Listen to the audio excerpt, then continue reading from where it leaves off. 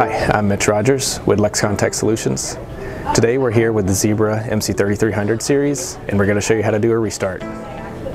With the Zebra MC3300 series, if the device has stopped responding, you're going to want to do a hard reset. The first thing you do is simultaneously press and hold the power button, the number 1, the number 5, and the number 9 for about 5 seconds.